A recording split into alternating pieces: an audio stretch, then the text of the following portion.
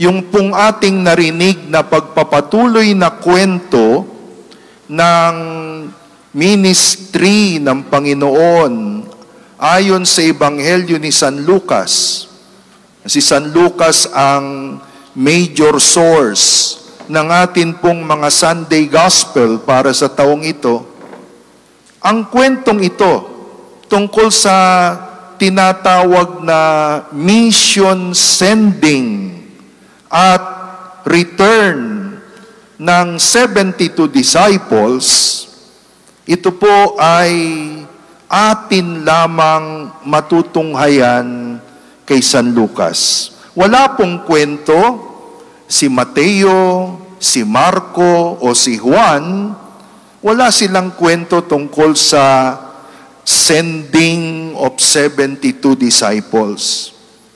Ang meron lang ay yung pagtawag at pagsusugo sa labindalawang alagad.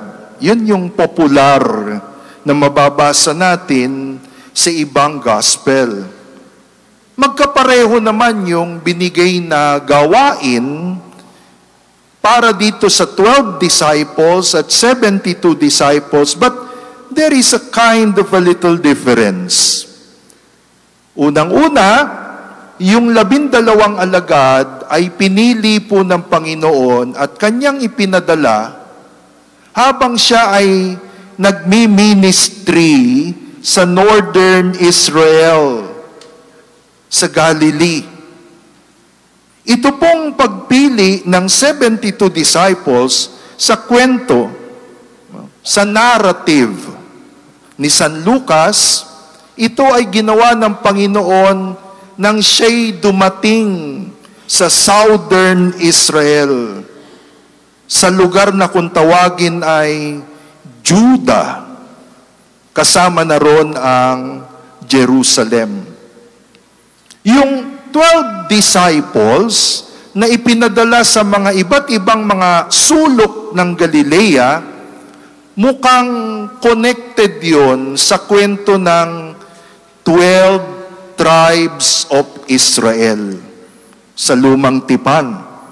So, para ba sinasabi ng Panginoon, ang kanyang misyon ay pagiging ganap ng pangako ng Diyos sa Israel. Pero itong 72 disciples na tanging dito lang nga kay San Lucas mababasa, it seems to be connected with what we read in Genesis chapter 10. Sa Genesis chapter 10, sabi po doon, matapos ang dilubyo sa panahon ni Noah, there were 70 nations in the world. So, para ba sinasabi kong ganoon ng ating pong pagbasa, ang misyon ni Jesus ay hindi lamang para sa labing dalawang tribo ng Israel. Ang misyon ni Jesus ay para sa lahat ng bansa, para sa lahat ng kultura. Kaya nga tawag natin sa ating simbahan ay Catholic sa wikang Griego, Catholicos, na ang ibig po sabihin ay universal. Pangkalahatan. Universal. Hindi lamang para sa Israel bilang bayan ng Diyos. Marami tayong narinig sa mga instructions ni Lord sa 70, 72 disciples. Yung iba kasi mga Bible nakalagay 70 disciples, no? Itong source natin ngayon, yung New American Bible at yung uh, Christian uh, uh, Doctrine Bible, it is uh, 72. Now, anyway, sa dinami-dami ng narinig natin na instruction ni Lord, sa 72 disciples nito, let me just focus on one thing, brothers and sisters. The Lord speaks about harvest. Sabihin nyo nga, harvest. Oh, yung pag-aani, no? Paggapas, pag-ani. Para sa akin, alam niyo po, very in very striking 'yon. Kasi sa isang banda, the Lord talked about planting the seeds. Oh? Kung maalala nyo, halimbawa, yung parable of the sower and the seed. Jesus talks about sowing the seed, planting the seed, pagpupunla, pagtatanim. Pero dito, the Lord speaks not about pagtatanim lang. Hindi sapat ang pagtatanim. Dapat may harvest may ani. Eh, tanim ka ng tanim, pero wala namang ani, lugi. Amen? Oh. And for me, this is something for us to reflect. Oh, ang misyon na binibigay ni Jesus ay hindi lamang misyon ng pagtatanim, pagsisimula. Hindi sapat na ikaw ay magsimula dapat mayroon ding pag-ani, may bunga, merong kapalit ang iyong mga ginawang pagtsatsaga at pagpupunyagi. I find this very meaningful. Alam niyo kung bakit? Dito nakasalalay ngayon ang challenge ng gawain ng Ebanghelyo ang gawain ng simbahan. O, unahin natin sa ating mga parokya, halos patapos na ang pandemya. Hindi pa tapos siguro, pero halos patapos na. Nasa tail end na awa ng Diyos ang pandemya.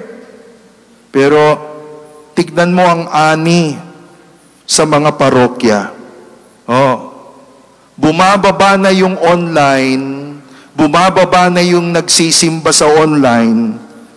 Pero sa totoo lang, hindi naman ito commensurate sa pagdami ng nag attend sa loob ng simbahan. Halimbawa dito na sa Mega Mall Chapel, itong bilang na ito ngayong umaga, syempre, this is a recovery from the pandemic, but this is not the number.